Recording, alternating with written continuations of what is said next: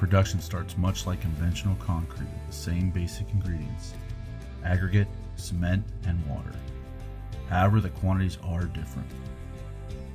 Once loaded into a hopper, materials travel up the conveyor belt to a twin shaft mobile concrete batch plant mixer capable of thoroughly mixing zero slump concrete in high volumes.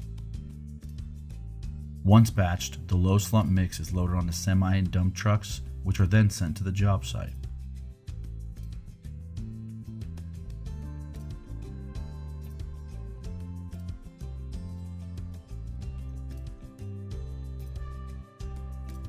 A front end loader will then fill the bucket of our modified paver with the delivered material.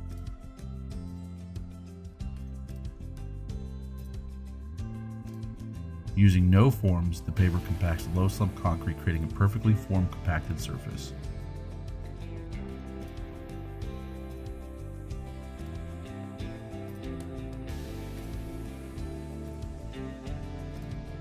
A roller will follow, allowing the paver to further compact the material.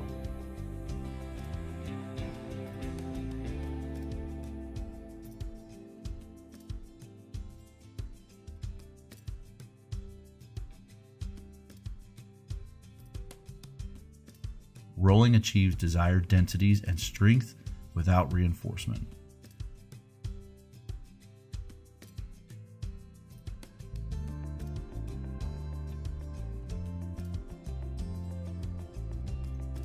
Using a power trowel and ACID systems allows us to create a smoother and more appealing finish.